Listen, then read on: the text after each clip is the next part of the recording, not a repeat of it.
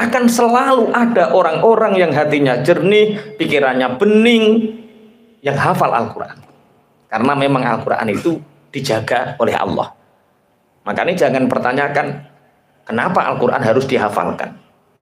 Kalau kamu berkata kenapa Al-Quran dihafalkan, berarti kita berpendapat seperti orang-orang rasionalis yang mengatakan bahwa nggak perlu Al-Quran dihafalkan. Cukup ketik Google sudah keluar halaman keberapa, pojok keberapa, baris keberapa artinya apa. Tapi kalau kamu mengikuti mereka, kamu akan berpendapat langsung dengan ro'i, dengan akalnya, tidak dengan hatinya. Dengan pendapatnya, bukan dari pendapat salafun soleh, tidak dengan ilmu tafsir, tidak dipadukan dengan hadis. Isoai, langsung mau ayat diterjemah artinya seperti ini. Menurut saya. Enak menurut saya. Maka Rasulullah menugaskan 65 sahabat untuk mencatat turunnya wahyu. Melalui pencatatan inilah pangapunten Al-Quran bisa berjaga opo-opo itu nek dicatat ya kejogo bagi yang biasa catat bisnis ngoten niku kan kulino. Dagang iki nek wayah Januari sepi Februari rame engko Maret rame April rame. Sesuai catatannya. Tahun depan enak. Es Desember sepi dan terus. Januari nemen sepi ini tambah hujan sehari hari gawine juga wong catatan sesuai database-nya. Bahkan catatan-catatan ini dianggap penting. Makanya ilmu pencatatan itu juga penting. Nun wal kolami wama jasturun. Kolami dibuat sumpah, pena dibuat sumpah. Pena itu alat untuk mencatat. Kemudian dalam surat Al-Baqarah wal yaktu bainakum katibum bil adl. Kalau kalian melakukan transaksi apa pun catat. Hutang piutang catat. Transaksi jual beli catat apa pun catat. Bahkan kalau kita menikahkan anak perempuan kita, jangan dinikahkan kecuali di situ ada catatan pasti. Nikah no anak orang no catatan monggo. Ini nikah di bawah tangan ya. Kono nikah di bawah tangan bareng. Ngono yo kok diculki. Sesuatu yang tidak tercatat itu akan riskan, akan rawan sekali. Akan rawan apa? Originalitas. Al-Quran sampai hari ini terjaga orisinilnya. Original, orisinilnya. Itu karena melalui tahapan-tahapan pertama adalah tahapan pencatatan. Ketika periode Madinah, Rasulullah mengutus sahabat, 65 sahabat untuk mencatat satu. Berarti ini Arab apa-apa dicatat. Database harus kuat dicatat. Makanya tahun ini yuk kita mengkader salah satu santri kita untuk sekolah di jurusan akuntansi. Karena itu kebutuhan kita. Yang penting ilmu agama dise, ilmu usuludinnya selesai, maka untuk pengembangan diri boleh belajar akuntan, belajar finansial, boleh belajar pencatatan boleh. Ayat yang paling mudah diingat itu wal yaktu bainakum katibum bil adl. Kalau kalian melakukan transaksi utang piutang catat, transaksi jual beli catat, kalau mau nikah catat. Nek kepingin nambah bojo catat. Orang apa-apa nambah dua tiga gak apa-apa yang penting catat. Ojo di bawah tangan. Neng sing pingin di bawah tangan. Aku nek gak dicatat yo ya gelem, nek dicatat yo ya mau. Oke, yang pertama melalui pencatatan. Di masa pemerintahan Sayyidina Abu Bakar, Al-Qurra orang-orang yang hufat hafal Quran itu banyak sekali. Tapi terjadi tragedi di perang Yamamah. Sehingga puluhan sahabat sing hafid Quran, sing hafal Quran meninggal.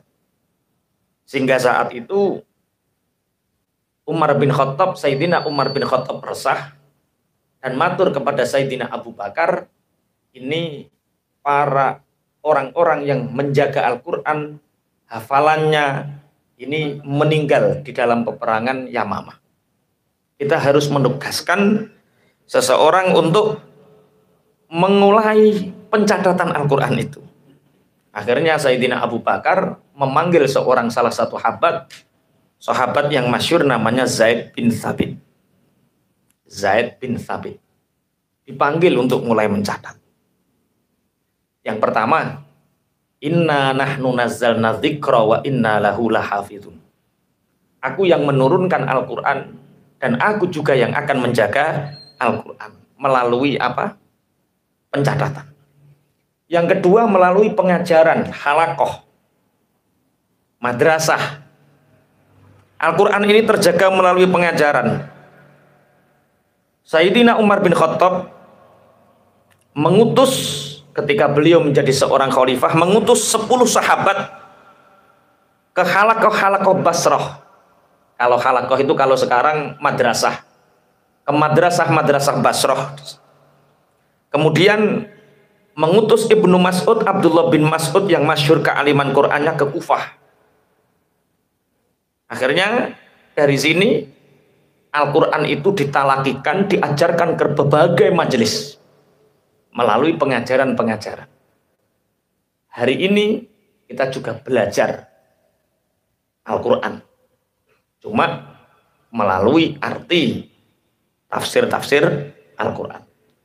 Cuma bedanya sampai ora hafal ngono Bar ngaji yo bar. Yo ora apa minimal diajarkan. Kalau memang sampai nggak hafal Quran, minimal Anda bisa menerangkan kandungan isi Al-Quran yang sampean pahami. Utawa gak iso nerangno minimal praktek untuk diri sendiri. Itu Al-Quran. Satu, Al-Quran akan terjaga melalui pencatatan. Dua, Al-Quran akan terjaga melalui pengajaran. Sehingga yang paling masyur adalah di periode Sayyidina Utsman bin Affan. Di periode Sayyidina Utsman bin Affan ini istilahnya Al-Qur'an itu dikumpulkan. Para ahli-ahli Quran dikumpulkan karena saat itu di Baghdad ada orang yang membaca Al-Qur'an beda dengan lahjah yang diajarkan oleh Rasulullah Shallallahu alaihi wasallam.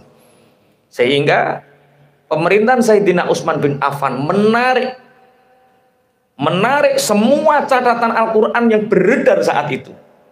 Kemudian mengumpulkan Al-Qurra, mengumpulkan ulama-ulama yang ahli baca Quran, sahabat-sahabat sing menangi Kanjeng Nabi, semua hafalannya ditarik, kemudian ditulis, ditulis, tulis sebagaimana tauqifiyah, sebagaimana Al-Qur'an yang hari ini kita saksikan. Dibentuk menjadi dicetak menjadi sembilan cetakan Al-Quran dikirim berbagai daerah yaitu di nah anehnya sembilan sembilan muskaf ini dikirim bersama dengan koriknya pembacanya diserahkan tidak hanya berupa catatan saat itu catatannya hanya berupa nabroh ada huruf jadi coroba anu ya nggak ada titik bawah nun nggak ada titik atas. Yo, ono nabro ya ono ada huruf ya, hanya berupa huruf-huruf konsonan, tidak ada titik, tidak ada harokat. Rosem Usmani seperti itu, tanpa harokat, tanpa titik, berupa nabroh, nabroh niku ada huruf. Tapi kemudian akhirnya Al-Quran ini berkembang di seluruh pelosok dunia, sehingga kalau tidak orang Arab tidak akan pernah bisa membaca nabroh-nabroh itu. Iki ta opo nun opo ba opo ya podo kabeh. Akhirnya melalui peran para ulama setelahnya yaitu seperti Abdul Aswad atau Ali dan lain sebagainya akhirnya ada kalau ya dikasih titik bawah dua kalau nun ini ku yo iso awakmu ya atas titik satu terus naik fa fa karo kof podo nabrohnya sama tapi hanya titiknya yang berbeda dulu Rasul Usmani tidak ada titik ini. Nah, akhirnya sampai hari ini pun Al-Quran masih terjaga. ila yaumil kiamah sampai nanti sabda Rasulullah menjelang akhir kiamat Al-Quran itu tidak ada di kertas, tidak ada di ukiran kayu, tidak ada di hati orang-orang yang beriman saat itu. Al-Quran musnah, saat itulah kiamat akan terjadi. Hari ini kita bisa menyaksikan masih banyak orang yang membaca Al-Quran, masih berarti kiamat Yo kiamat itu dekat kok awakmu. Mau tahu jauh-jauh bi. Yo nek cek menangi Al-Qur'an yo cek menangi. Orang menangi kiamat. Itu yang kedua. Satu, Al-Qur'an terjaga melalui pencatatan. Dua, Al-Qur'an terjaga melalui pengajaran. Yang ketiga, Al-Qur'an itu akan terjaga melalui hafalan. Hafalan. Hari ini banyak anak-anak yang rasional Kelompok-kelompok rasional itu menanyakan lima nahfadzul Quran. Untuk apa hari ini kita masih menghafalkan Quran? Yang lucu lagi, hari ini kita masih menghafalkan sorok, menghafalkan tajwid, menghafalkan akidatul awam, menghafalkan kitab imriti, menghafalkan maksud alfiah lima nahfadzul Quran. Untuk apa kita menghafalkan Quran? Teknologi itu sudah berkembang pesat. Cukup ketik Google, Surat apa yang kamu inginkan? Pojok keberapa? Baris keberapa? Ketemu, cukup ketik Google. Panjang mbahmu iku alim tenan kok mbah Google. ketik metu, ketik metu. Terus pertanyaannya lima nahfatul Quran. Untuk apa kita menghafalkan Quran? Untuk apa kita menghafalkan hadis? Untuk apa kita menghafalkan kitab-kitab salafun soleh? Dan hari ini pembelajaran di pondok salaf sampai hari ini masih menggunakan sistem hafalan. Orang-orang rasionalis, para pakar-pakar pendidikan, ada yang mengkritik, ada yang setengah menghujat. Untuk apa? Wong dunia sudah modern. Ibaratnya saya iki ora iso matematika net, kalkulator wis metu. Songo kali songo. Ya ora tau ngapalo ya Iya. 81. Di mana kan hafal Quran? Kenapa? Kita untuk apa menghafalkan Quran? Ini jawabannya Dijawab oleh makolahnya Sayyidina Umar bin Khattab. Iyakum ba ashabar ra'yi. Takutlah kalian dengan orang-orang pakar-pakar rasionalis. Orang yang berpikir dengan otaknya, tapi tidak dengan hatinya. Orang yang selalu menjawab pertanyaan dengan cerdas, tapi dengan logika rasionalnya, tidak dengan hatinya. Iyakum ba ashabar ra'yi. Takutlah kalian dengan mereka. Siapa itu? fa innahum a'da'us sunani. Mereka itu adalah musuh-musuhnya sunnah. Tanda-tandanya apa mereka itu?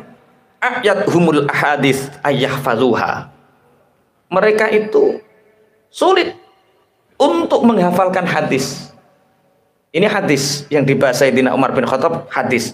Tapi kalau yang disebut hadis otomatis Quran ikut karena apa? Hadis itu mukjizat Al-Quran juga mukjizat. Wa ma yantiqu anil hawa in huwa illa wahyu yuha. Rasulullah itu tidak pernah berbicara nuruti hawa nafsunya. In huwa illa wahyu yuha yang dibicarakan Rasulullah adalah wahyu yang diberikan kepada Rasulullah. Itu Rasulullah. Dan omonganmu yang nuruti nafsu. Tepak yang beletat, ora tepak ya awak. Iya kumba ashabar ro'yik takutlah kalian jauhi orang-orang rasionalis. Orang-orang yang selalu mengedepankan otaknya, tidak hatinya. Siapa mereka? Innahum ada usunani. Mereka itu musuhnya sunnah. Ayat humul ahadith ayah faduha. Mereka sulit untuk menghafalkan hadis. Watafal watafallatat fihim ayyauha. Untuk menjaga hadis pun mereka tidak mampu. Jadi wis ngapal none angel jagane ya angel.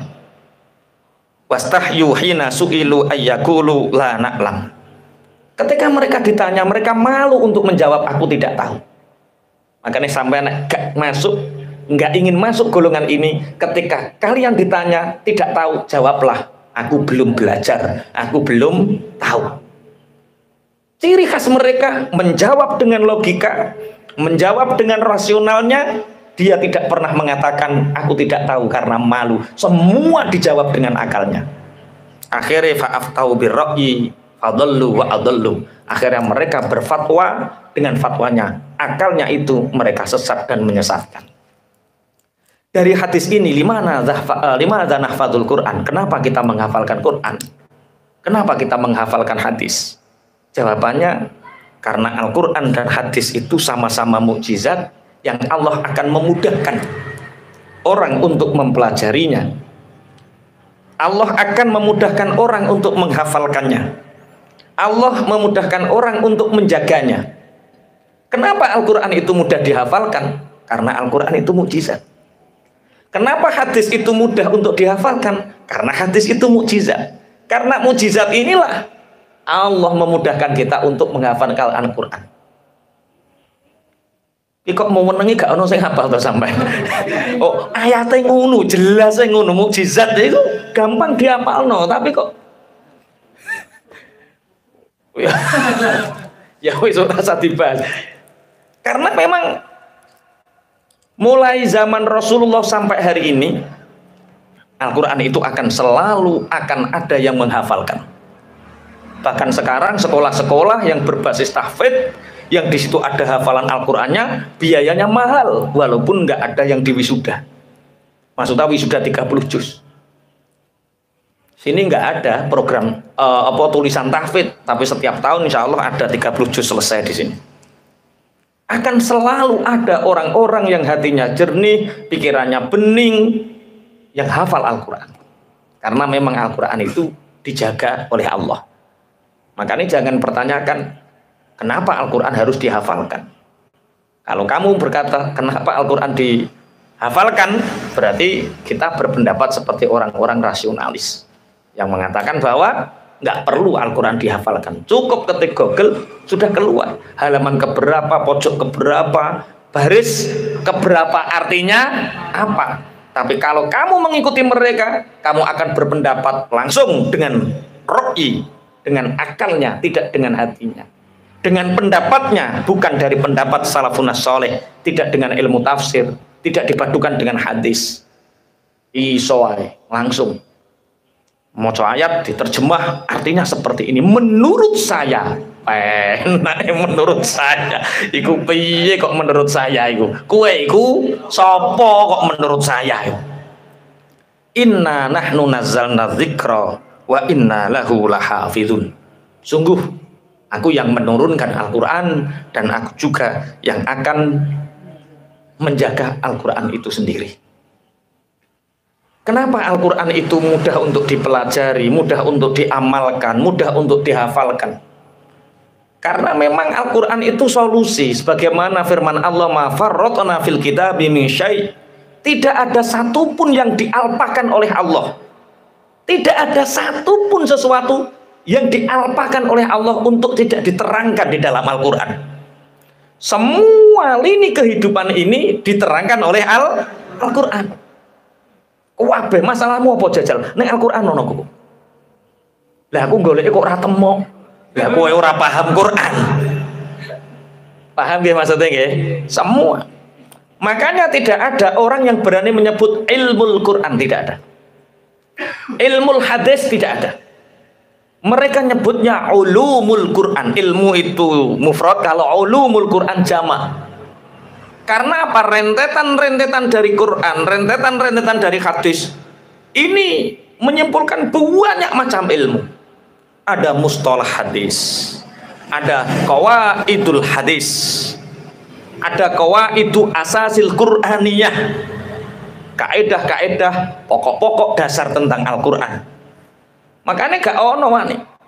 Bahkan tentang Al-Itqan niku Imam Masyuyuti dawuh cabang dari ilmu Al-Quran yang dipelajari itu ada 70 cabang ilmu pengetahuan. Wow, pitung puluh cabang. Yang tentang surat Al-Kahfi disebut laukanal bahru midadan li kalimati rabbi lanafidat. Maka seandainya semua air yang ada di lautan kemudian apa pang-pang apa jenenge ranting-ranting pohon seluruh dunia ini jadikan pen kemudian air laut sebagai mangsi isinya maka tidak akan pernah bisa menghabiskan ulumul Quran Bahkan tentang beberapa makalah seandainya ada orang ingin mempelajari satu ilmu Quran, fan ilmu Quran. Dan dia ingin menghabiskan usianya sampai ilmu itu habis, maka sampai dia mati tidak akan pernah habis. Makanya Al-Quran Allah yang menurunkan, Al-Quran juga Allah yang akan menjaga. Dengan metodologi secara hukmiyahnya bukan itikodi kalau itikodi apa rasa mikir wis pokoknya Al-Quran dijogo Allah kita yakin ila yaumil kiamah. Tapi ternyata yang terjadi melalui pencatatan kemudian yang kedua melalui pengajaran yang ketiga melalui hafalan. Ini yang menjaga. Sunnahnya seperti itu sunnah pun. Bahkan dulu diceritakan oleh Yahya ibnu Aksam.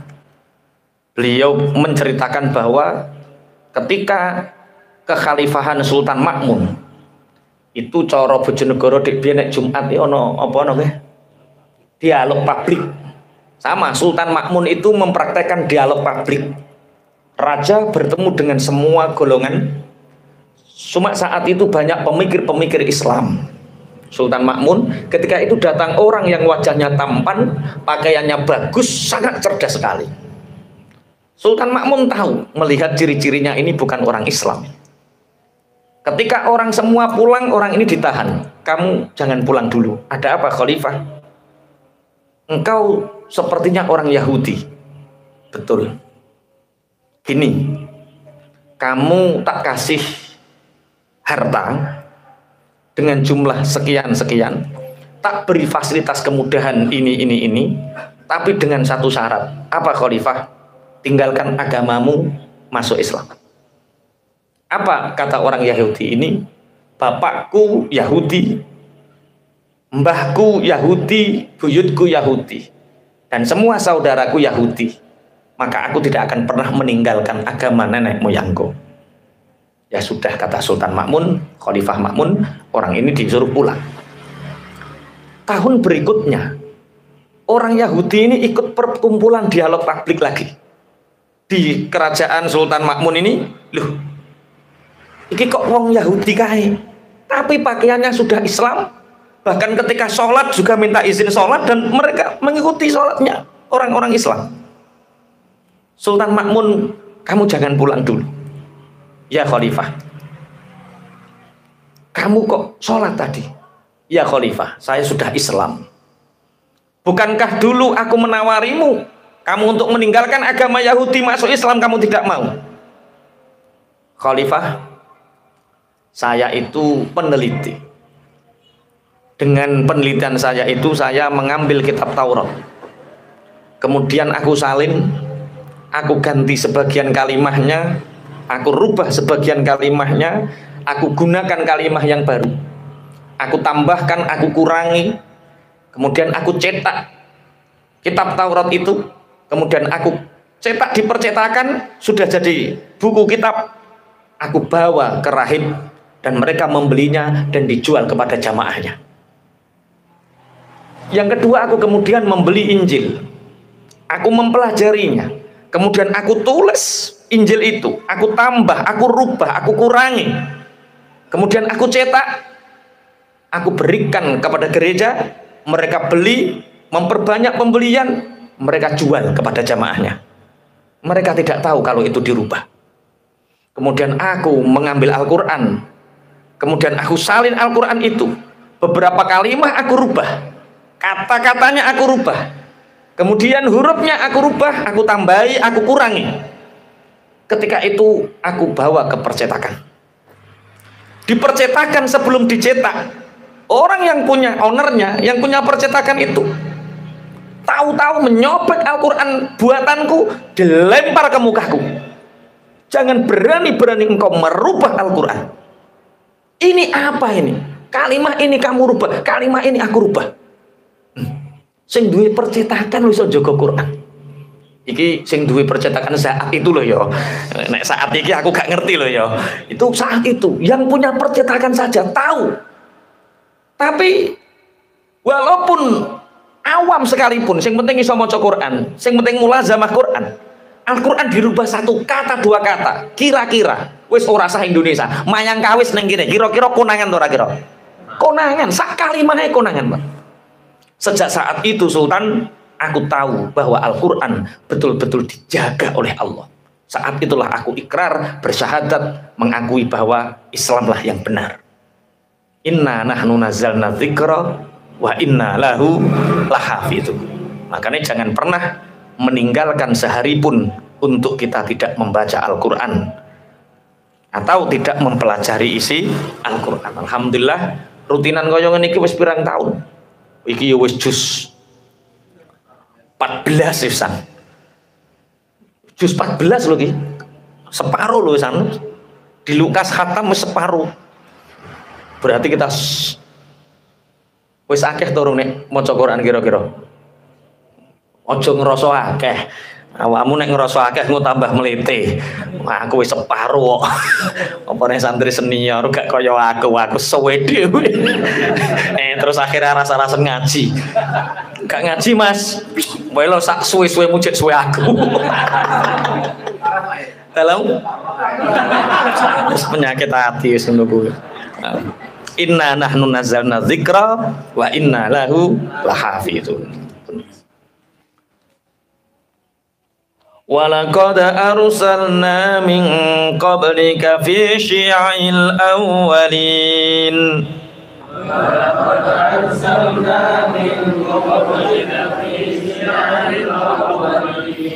وما يأتيهم من رسول إلا كانوا به يستهزئون وما يأتيهم من رسول إلا كانوا كذلك نسلكه في قلوب المجرمين كذلك نسلكه في قلوب المجرمين لا يؤمنون به وقد خلت سنة الأولين لا يؤمنون به وقد خلت سنة الأولين empat ayat ini namanya ayat tasliyah. Ayat tasliyah itu ayat untuk ngarem-ngarem atine Kanjeng Nabi Muhammad sallallahu alaihi wasallam. Ngarem-ngarem itu apa ya bahasa Indonesia ngarem-ngarem itu? Menyenangkan. Walaqad arsana lan teman-teman ngutus sapa ingsun Allah min qablika Saking sadurunge sira Muhammad fi syi'il awwalina ing dalem pira-pira golongane wong-wong kang dingin-dingin. Wa ma ya'tilan ora nekanihim ing awalin sapa mir rasulin utusan illa kanu kejaba ana sapa awalin bihi kelawan rasul iku yastahziuna padha geguyu sapa awalin. Kadzalika kaya mengkono-mengkono oleh istihza nasluku nglebokaken sapa ingsun hu ing kufur fi qulubil mujrimina ing dalem pira-pira atine pira-pira wong kang padha kufur kabeh la yu'minuna ora padha iman. Sapa mujrimin bihi kelawan Nabi Muhammad. Wa qad kharat lan temen-temen wis kliwat apa sunnatul awwarina. Sunnahe wong-wong kang padha dingin-dingin kabeh. Walaqad arsalna min qablika fi syi'il awwalin sungguh aku telah mengutus sebelummu Muhammad di dalam golongan-golongan yang terdahulu. Wa ma ya'tihim rasulin illa kanu bihi yastahziun tidak datang kepada mereka utusan kecuali mereka menertawakannya setelah Rasulullah Shallallahu Alaihi Wasallam dihina, dihujat oleh orang-orang kafir dengan kata-kata majnun, innakal lama jenun, engkau gila Muhammad. Maka secara basyariah Rasulullah dilokke gendeng, Rasulullah dilokke gila. Secara basyariah otomatis itu terbawa. Terbawa ke fikrah Rasulullah. Ke pemikiran Rasulullah. Ya diangen-angen kanjeng Nabi. Tapi kemudian turun ayat tasliyah. Walakad arsalna min qablika fi syi'il awalin. Muhammad aku telah mengutus sebelummu orang-orang terdahulu Wa ma ya'tihim mir rasulin illa kanu bi yastahzi'un dan tidak datang seorang rasul kepada mereka kecuali mereka menertawakannya, menghinakannya. Jadi jenenge Rasul Muhammad ya ora awakmu tok, tidak kamu saja. Rasul-rasul dahulu juga ditertawakan, juga dihina. Jadi tasliyah. Padha sampean utang.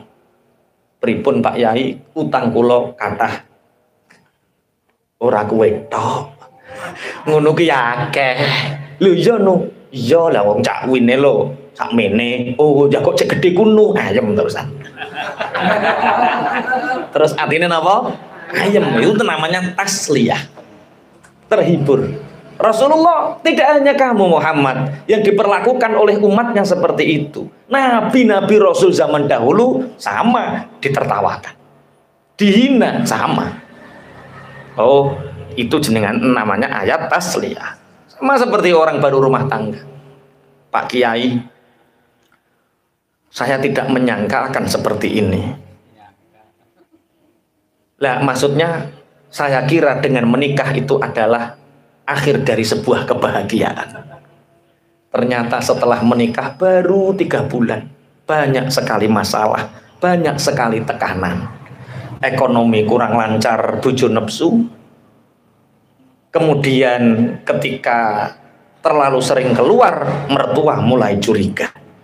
Kok gak tahu mulai neng tile. Neng omah terus diobrak-obrak, gak mulai-mulai digoleki. Terus ternyata rumah tangga kok yo angel. Dijawab kabeh wis tau nglakoni mbak. Ngoten niku terus flong lah niku namanya apa? Tasliyah. Rasulullah ketika secara basyariah dihina dihujat Rasulullah ya susah jenenge menungso tapi ketika turun ayat taslah, oh ternyata kurban itu dua aku Ternyata tidak aku saja. Rasul-rasul terdahulu juga sama. Kadzalika nasluquhu fi qulubil mujrimin. Makanya kalau kita belajar ayat tasliyah ini kita sadar betul Rasulullah ikhlas. Rasulullah diajari ikhlas oleh Allah menerima semua keadaan. Bah kamu dihujat, bah kamu dicaci maki, ikhlas dan ridho. Makanya ketika Rasulullah ditanya oleh sahabat ya Rasulullah, sinten tiang ingkang saya niku? Ya Rasulullah siapakah orang yang baik itu? Kanjeng Nabi jawab, wong sing apik iku man ahsana man asaahu. Wong sing apik, orang yang baik adalah orang yang berperilaku baik, membalas baik kepada orang yang berperilaku buruk terhadapnya. Kuwi nek wong wales nganggo apik, kuwi jenenge wong apik. Duh. Berarti rak yuk kalah terus awake. Wong J dieleki kok kongkon bales apik berarti awake nah, urip kok kalah-kalahan menang-menangan wae. Makanya dik wau enten sing share sapa? Pak Yai Sairozi. Yo, di-share lu, di-share masalah eneng sing delok. Ora mbok delok kok mbok share wae. Nggih. Itu pernah diterangkan di Masjid Mayangkawi. Saya hafal betul ceramah itu pernah ditenangkan di Masjid Mayangkawis.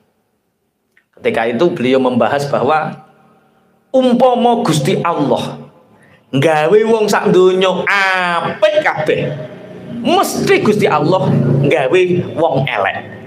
Soale apa? Wong apik gak neng wong elek, ora ana sing praktek nglakoni ilmune. Terus sing diapiki sapa? Wong apik? Kabeh. Kudu ana korban. Makanya terus ya Rasulullah Shallallahu Alaihi Wasallam mengajarkan kalau ada orang yang berperilaku taat maka berbahagialah. Kayak ibu bunga alhamdulillah wong wong mayang kawis do taat. Alhamdulillah wong duyungan saka sewu do taat. Apa kudu bunga seneng. Tapi kalau ada orang yang maksiat ada orang yang durjana. Wong kok senengane mabuk demenan selingkuh. Apa yang kita lakukan? Welas. Diwelasi. Ojo buk gedingi. Nek buk gedingi kue gedeng sunai Allah. Soalnya gandengane masjid mesti ono ceren. Gendengane sumber mesti ono peceren. Gendengane pondok mesti ono keelean ono wong apik mesti ono wong elek. Pasti makanya winginane pun tiga timah kabeh wong mesti masalah. Wong dunia iku darul bala dunia iku omahe masalah. Darul istirohah itu kubur. Samulane sampai nek kepingin leren saka masalah mati. Mas Taib pingin Wah. Nek menau pingin no, kok cek santai. Makanya orang hidup itu tidak boleh dari lari dari masalah. Karena lari dari masalah itu menuju masalah yang lain. Kita tidak boleh lari dari masalah. Masalah itu harus dihadapi. Karena orang yang paham itu akan mengetahui bahwa dari masalah itu ada empat hikmah. Itu sama dulu kita menasoi Dari masalah yang kita hadapi itu ada empat hikmah. Mas Toib, masalahmu apa? kakean duit ono sing masalah kakean duit sinten? Masjid cek kurang guys lo masjid cek kurang rong atau selawe juta guys dari masalah apa pun itu akan ada empat hikmah di dalamnya